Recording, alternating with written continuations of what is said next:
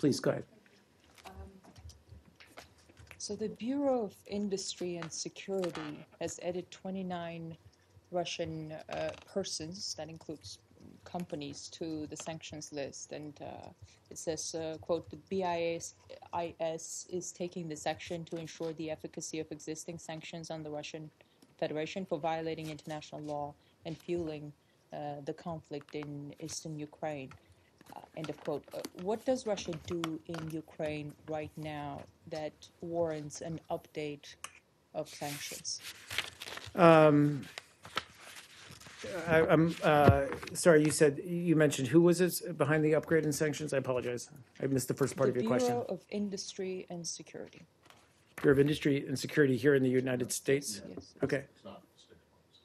Oh, right, the Commerce Department. I, I apologize. I just didn't. Um, I, I, I believe, and I, I may, uh, I may be wrong, but I believe this is in line with ongoing sanctions uh, strengthening and what we talked about a couple weeks ago here, which is, you know, when we're constantly um, uh, freshening our sanctions, and our sanctions are in place because of uh, Russia's uh, behavior support for the separatists, ongoing support for the separatists in eastern Ukraine. And we want to keep those sanctions as current as possible. Uh, in any kind of sanctions regime, there's obviously uh, workarounds uh, uh, that develop over time. So we constantly look at those and uh, ways to strengthen them and close those kind of workarounds in order to keep them uh, both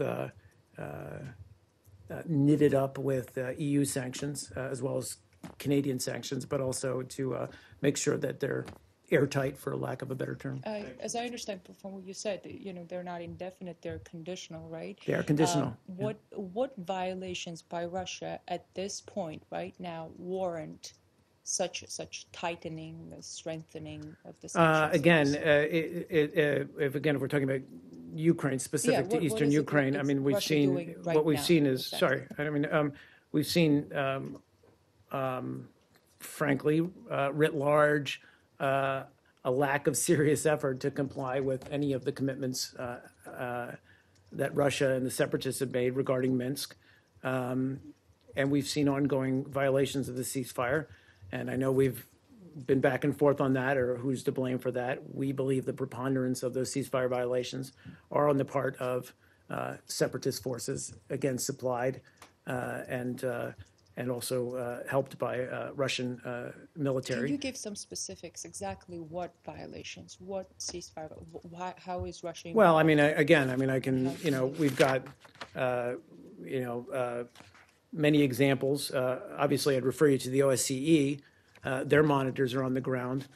uh, And uh, their uh, But you're mandate, or their, their, judgment that sorry, their, Russia i- is but their, in sorry, that. let me So finish. how do Their mission decide? is to uh, look at uh, and uh, survey uh, all of the uh, uh, disputed territory, uh, but also to monitor the ceasefire, which is an essential part of the Minsk uh, commitments.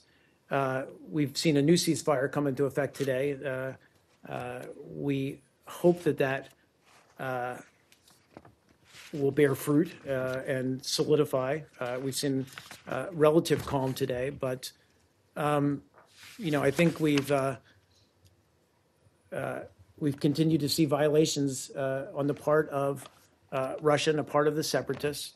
Um, But you And can't name to them, that regard, right? sure, Can I can, yes. Um, If you want to wait while I get to it, I'm happy to give you uh, chapter and verse.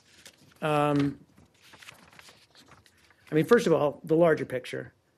There would be no conflict in eastern Ukraine if Russia were not providing tanks, armored vehicles, heavy artillery, military personnel to the separatists.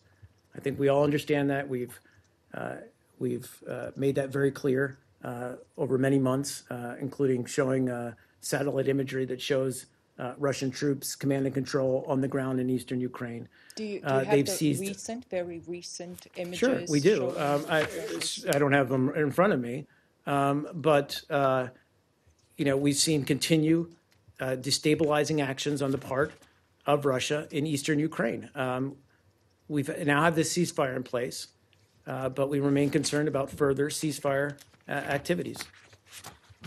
But Yeah, th- please. there- No, Could it- no, no, no specifics yet. What, what exact, what, what violations do you, do you, Do you ha- have any in front of you? Because you know, by many accounts, this has been the calmest, um, I can say, a week for sure, and probably the whole year. That's, that's I not true. I mean, we've seen repeatedly, uh, within the past months, uh, uh, Russian uh, separatist forces have launched uh, dozens of attacks across the line of control, killing more than a dozen Ukrainian soldiers, uh, injuring dozens of others. Uh, You know, I was very clear, there is a new uh, ceasefire initiative uh, set in place today, uh, frankly, on the part of the Ukrainian government. We hope that holds.